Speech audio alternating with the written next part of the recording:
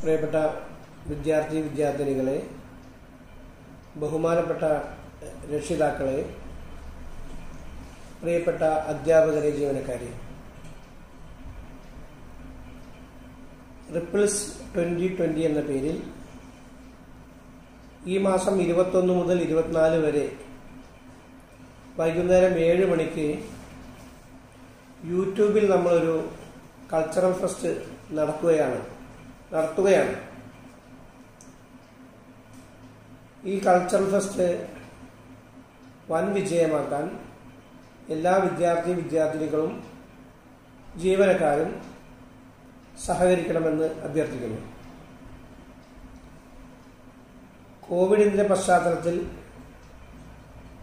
വീട്ടിലിരിക്കുന്ന കുട്ടികൾക്ക് അവരുടെ സഹപാഠികളുമായി സഹകരിക്കുന്നതിനും ഇടപഴകുന്നതിനുമുള്ള ഒരു അവസരമാണ് ഈ ഈ ദിവസങ്ങളിൽ നമ്മുടെ കുട്ടികൾക്ക് കൈവരുന്നത്.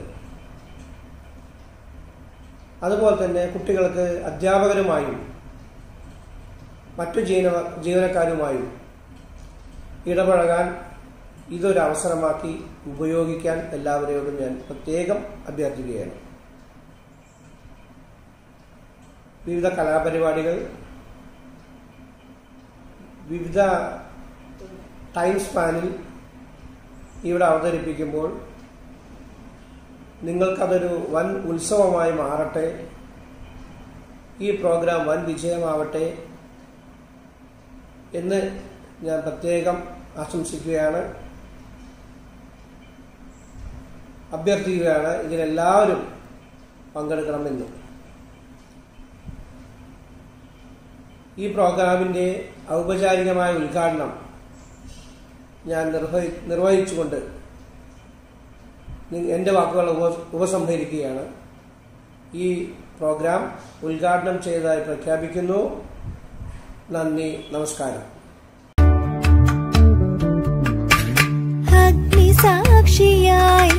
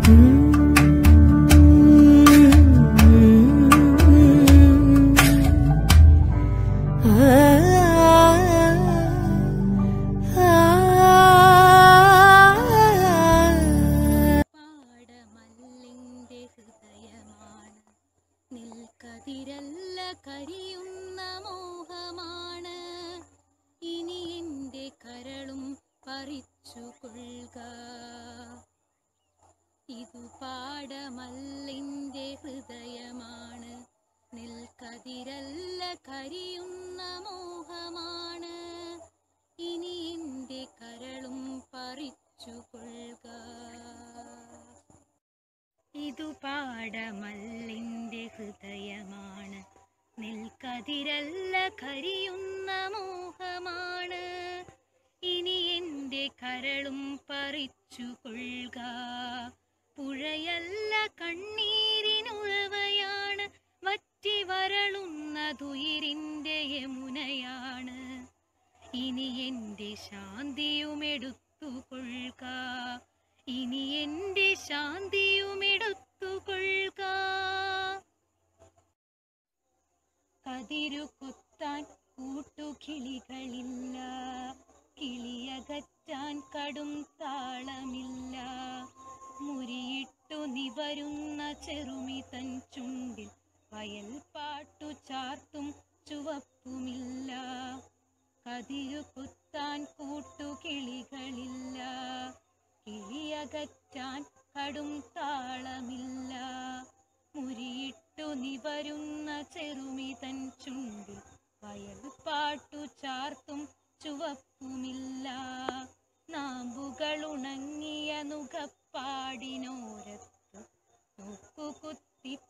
രാഗഭാക്കിയായി നാമ്പുകളുണങ്ങിയ നുകപ്പാടിനോരത്ത് മുക്കുകുത്തി പലകഭാക്കിയായി ഇനി എൻ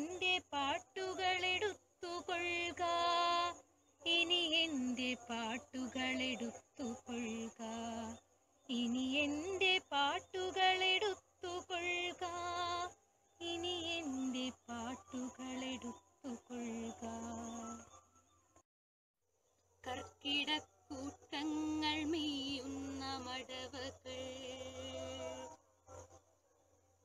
വയൽ ചിപ്പി ചിത്രം വരയ്ക്കും ചതുപ്പ്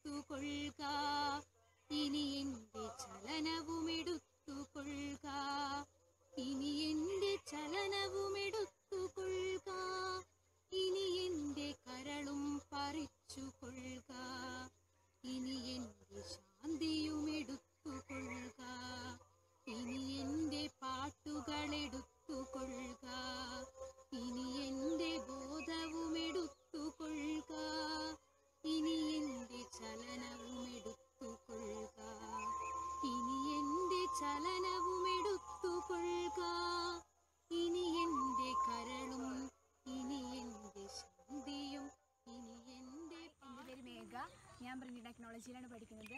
ഒരു plus two zero two zero പരിപാടിയിലേക്ക് ഞാൻ ഡാൻസാണ് അവതരിപ്പിക്കുന്നത്.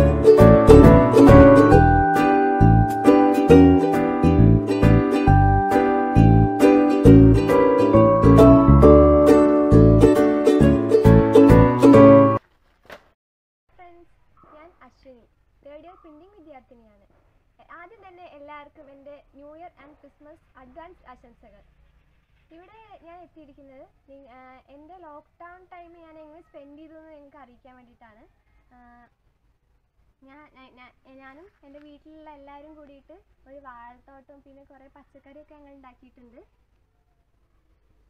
അതൊക്കെ നിങ്ങൾക്ക് ഞാൻ പരിചയപ്പെടുത്താം.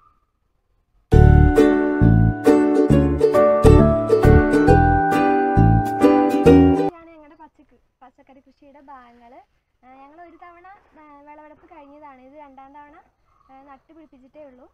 ഇനി നമുക്ക് ക്യാബേജും വെണ്ടയ്ക്കൊക്കെ ഉണ്ട്. അവിടേക്ക് ഉണ്ട്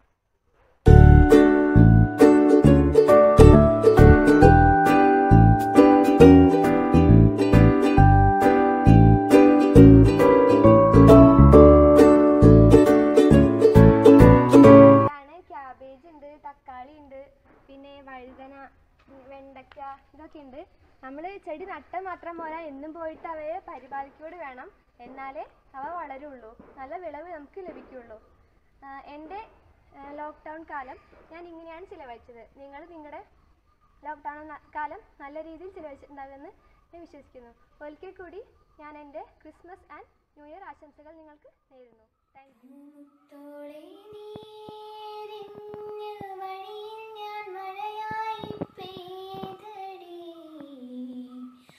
ആരിരാരും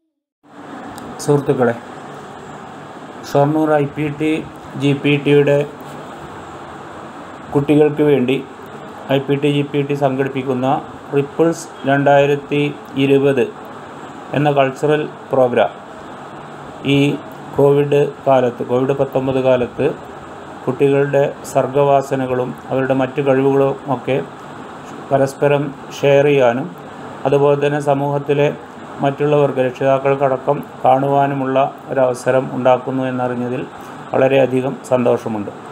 നമ്മുടെ കുട്ടികളെല്ലാവരും ഇതിൽ സജീവമായി പങ്കെടുക്കും എന്ന് വിചാരിക്കുന്നു.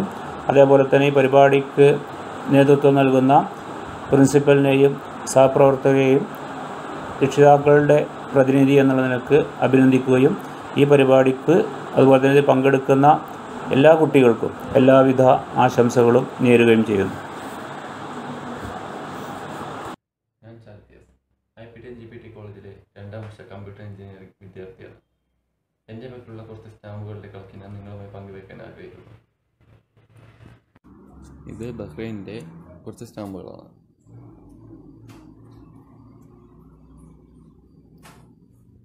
ഇത് കിങ്ഡം ഓഫ് സൗദി അറേബ്യയിലെ മുമ്പ് ഉപയോഗിച്ചിരുന്ന കുറച്ച് സ്റ്റാമ്പുകളുടെ കളക്ഷനാണ്. ഇത് സിംഗപ്പൂരിലെയും സോവിയറ്റ് യൂണിയൻ നിലനിന്നിരുത്ത കാലത്തെയും ഉണ്ടായിരുന്ന കുറച്ച് സ്റ്റാമ്പുകളാണ്. ഇത് ടാൻസാനിയയിൽ യൂസ് ചെയ്ത് വരുന്ന സ്റ്റാമ്പുകളാണ്. ഇതിലിപ്പോഴും യൂസ് ചെയ്യുന്നുണ്ടെന്നാണ് എനിക്ക് തോന്നുന്നത്.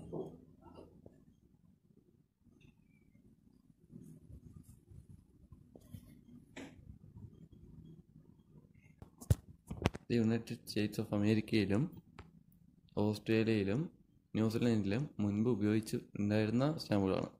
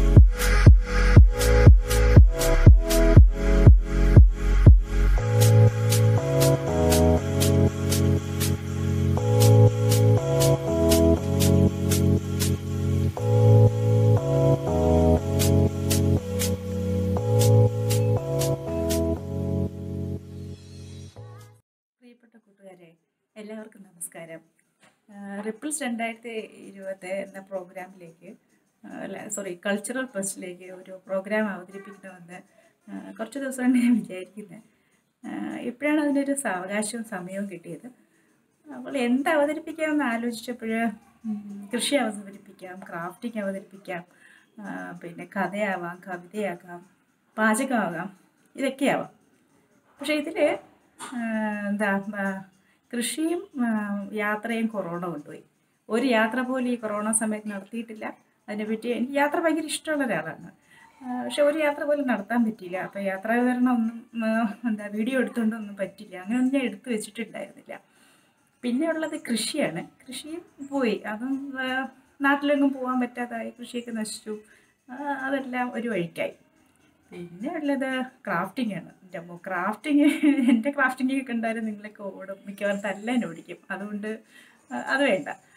പിന്നെ പാചകം പാചകം തീരെ ഇഷ്ടമില്ലാത്ത ഒരാളാണ് ഞാൻ അടുക്കളയെന്ന് പറഞ്ഞാൽ അലർജി ആയിട്ടുള്ള ഒരാളാണ് അപ്പം പാചകവും വേണ്ട.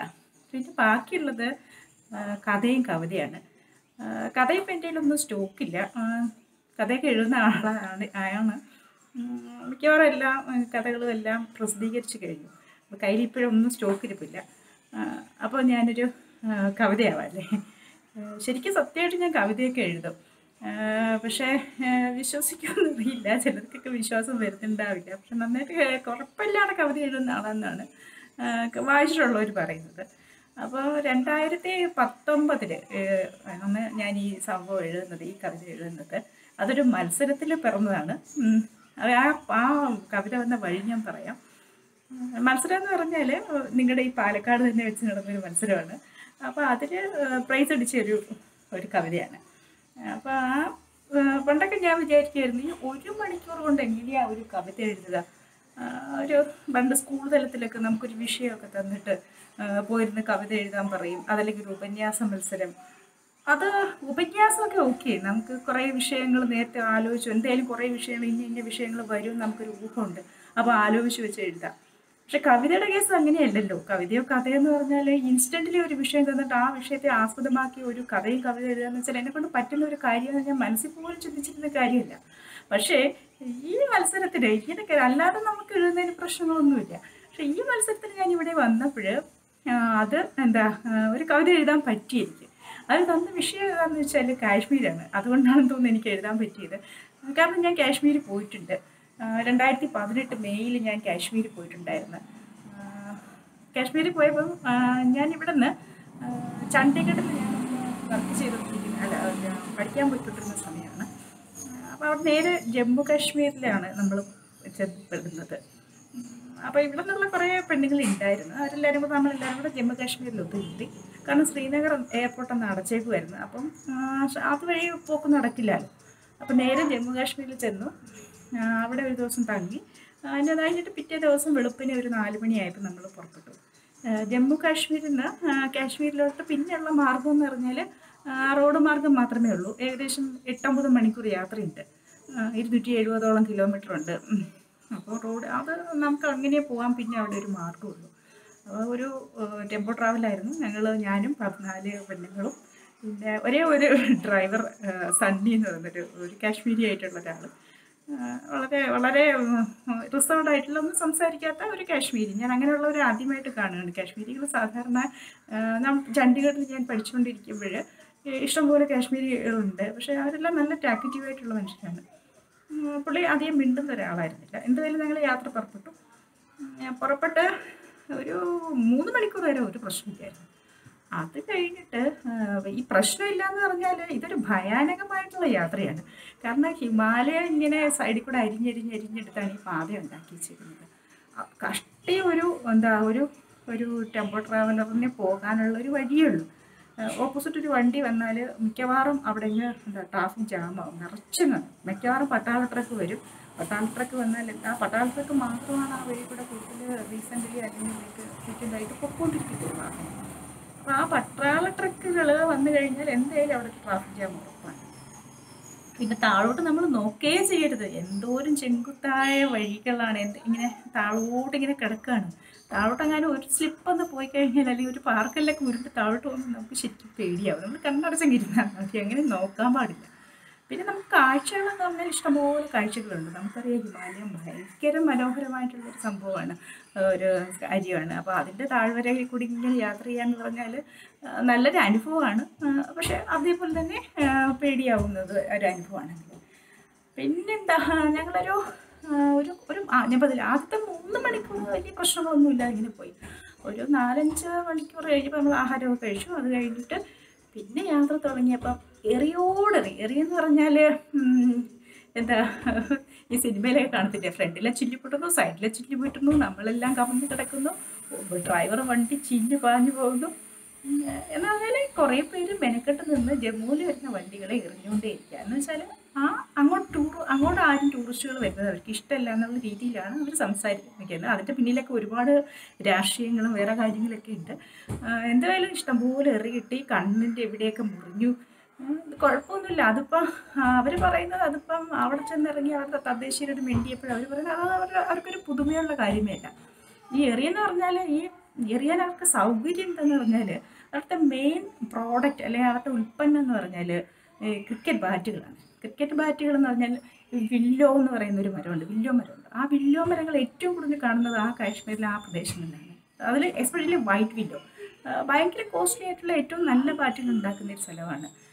അപ്പോൾ ആ വില്ലോ മരങ്ങൾ ഇഷ്ടം പോലെ ഉള്ളതുകൊണ്ട് അവിടുത്തെ മെയിൻ സംഭവം ആ ക്രിക്കറ്റ് ബാറ്റാണ് അപ്പോൾ ഈ ക്രിക്കറ്റ് ബാറ്റുകൾ ഇങ്ങനെ അട്ടി അട്ടി അട്ടിയായിട്ട് വെച്ചേക്കാണ്. അട്ടി അട്ടി വെച്ച ഒരു വലിയൊരു മട എന്താ ഒരു കെട്ടിടത്തിന്റെ പൊക്കത്തിൽ വെച്ചേക്കാം. അതിന്റെ ബാക്കിൽ നിന്നുകൊണ്ടാണ് എറി എത്രയും വരുന്നത്. എന്തായാലും ഞങ്ങൾ അവിടെ നിന്നൊക്കെ രക്ഷപ്പെട്ടു. ഏകദേശം ഒരു എട്ട് എട്ടര ഒമ്പത് മണിയായപ്പോൾ ദാൽ തടാകത്തിന്റെ അവിടെ എത്തി.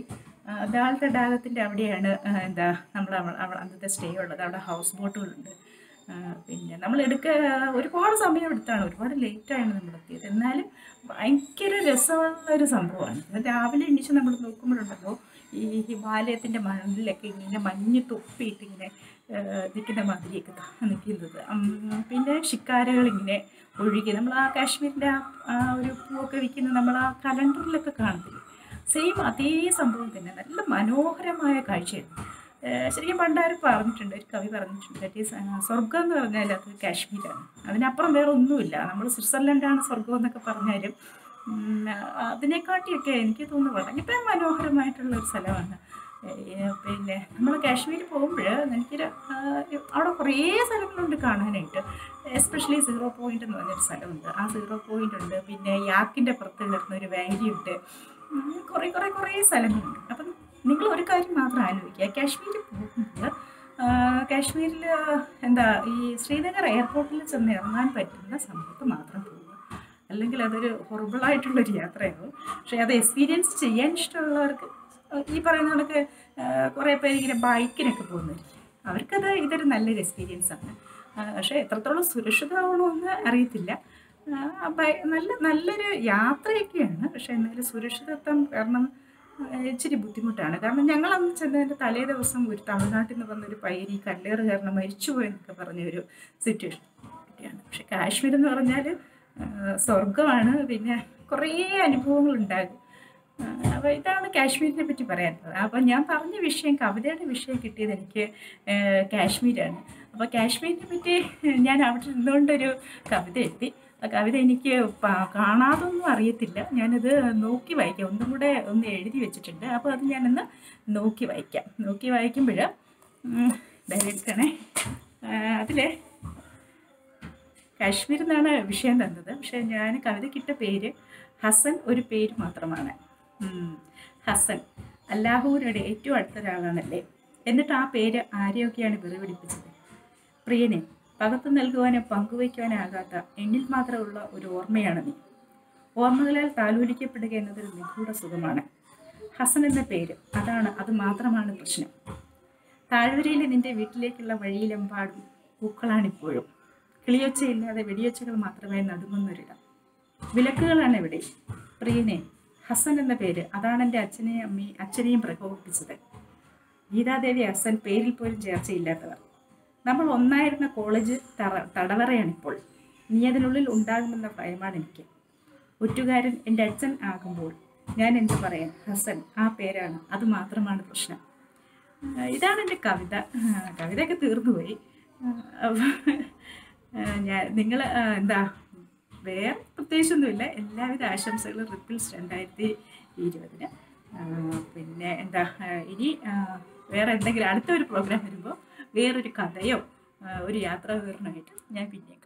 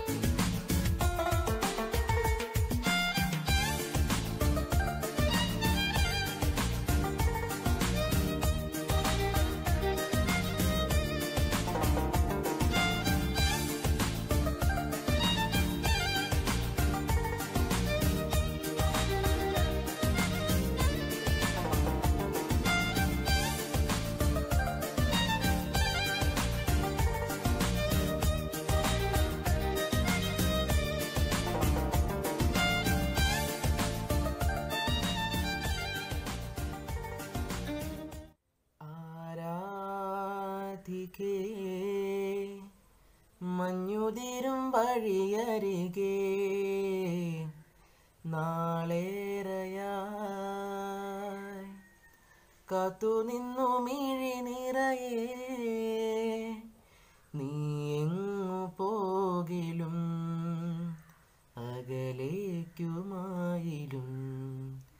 എന്നാശകൾ തൻ മൺതോണിയുമായി തുഴഞ്ഞരികെ ഞാൻ വരാം. എന്റെ നെഞ്ചാകെ നീയല്ലേ? എന്റെ ഉന്മാദം നീയല്ലേ? നിന്നെ അറിയാനുള്ളു